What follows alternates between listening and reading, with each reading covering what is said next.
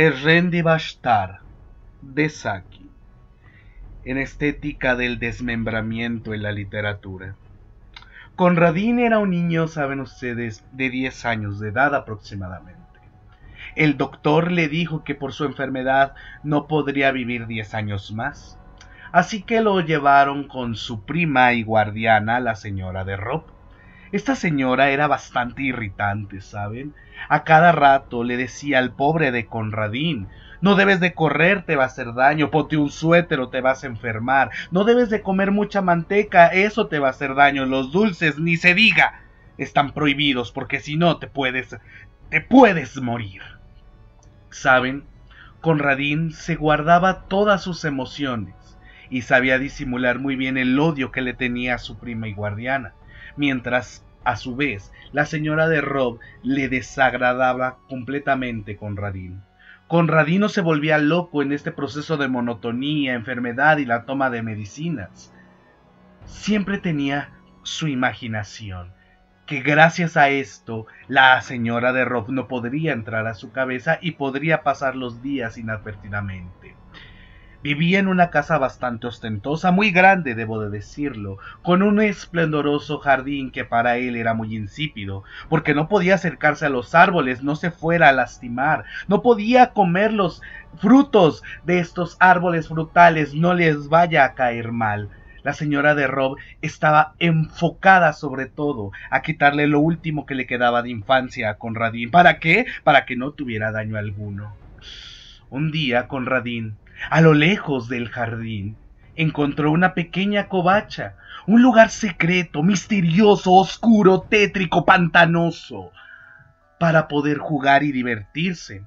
Ahí encontró a dos seres de carne y hueso, una gallinita, una pequeña gallina que siempre lo veía y jugaba con él, y pasaba muchísimas, muchísimas noches, ¿saben?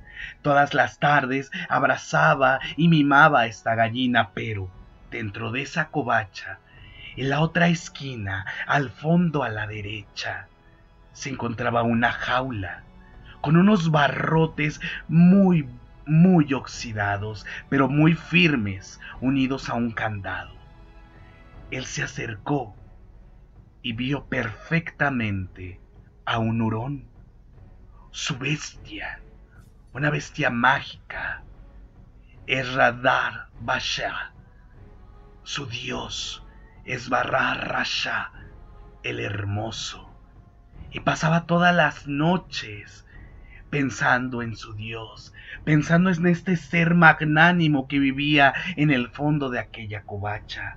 Durante varios días le daba ofrendas de nuez moscada y mientras su prima iba a la iglesia a orar a los santos óleos, él hacía sus rituales para que este dios creciera magnánimo y poderoso, Erradim Bashtar, Erradim Bashtar el hermoso, Erradim Bashtar se fue, sus pensamientos eran rojos y sus dientes eran blancos, Erradim Bashtar, sus enemigos pedían la paz, pero él les dio muerte, Erradim Bashtar el bello, Erradim Bashtar, Erradim Bashtar. Un día, esta señora, doña Rob, empezó a preocuparse por Conradín. Dijo que no era sano para él estar metido dentro de esa covacha durante mucho tiempo y sobre todo en la tarde no le fuera a dar una pulmonía o algo peor. Así que decidió explorar y se dio cuenta que estaba la gallina.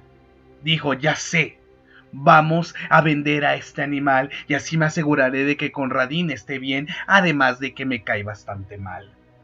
Ella pensó que una vez que la gallina se fuera, Conradín le iba a reclamar, iba a estar furioso, iba a romper los platos, sino que iba a querer cenar.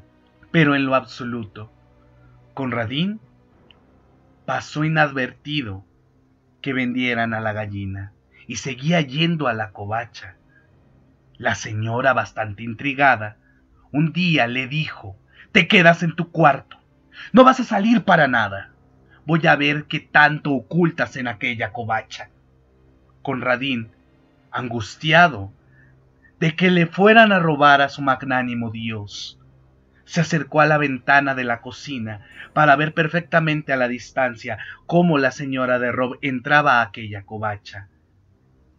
Una vez entrando, sabía perfectamente lo que iba a ocurrir.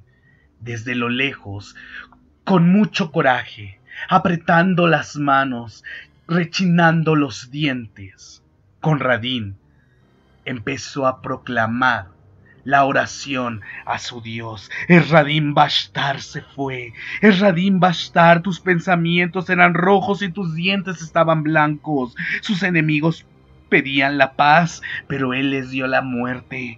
Erradín Bastar cobra venganza. Erradín Bastar ten justicia, Erradín Bastar, sé justo, Erradín Bastar, cobra mi venganza, Erradín Bastar, el bello cobra mi venganza, Erradín Bastar, Erradín Bastar, Erradín Bastar.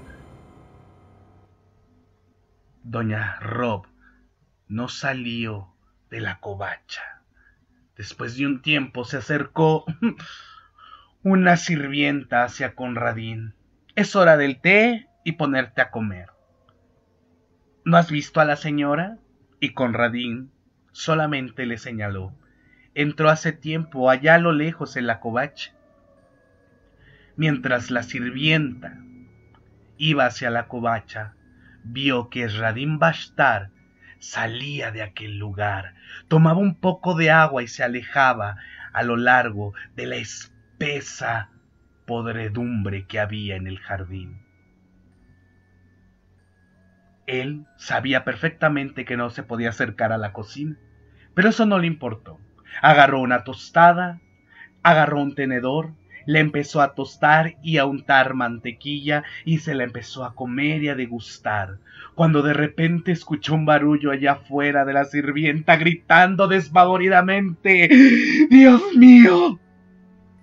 Sus manos, su carne, su cabeza, ¿qué le pasó en estos momentos? Conradín continuaba comiendo y degustando esplendorosamente su tostada cubierta de manteca. La gente empezó a llegar. Dios mío, qué atrocidad. ¿Qué le va a decir al muchacho? Yo no voy a poder decirle jamás. Yo no tengo corazón, pobre muchacho, ¿cómo va a reaccionar? ¿Quién va a limpiar toda esta masacre?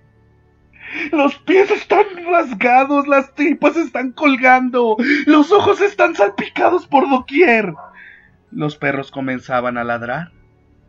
Conradín tenía una sonrisa esplendorosa, mirando directamente hacia el jardín, mientras continuaba devorando una tostada.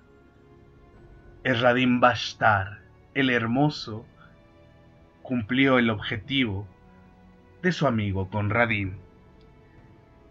Los increíbles cuentos de Saki en este Booktubre del terror, en la estética del desmembramiento. Adiós.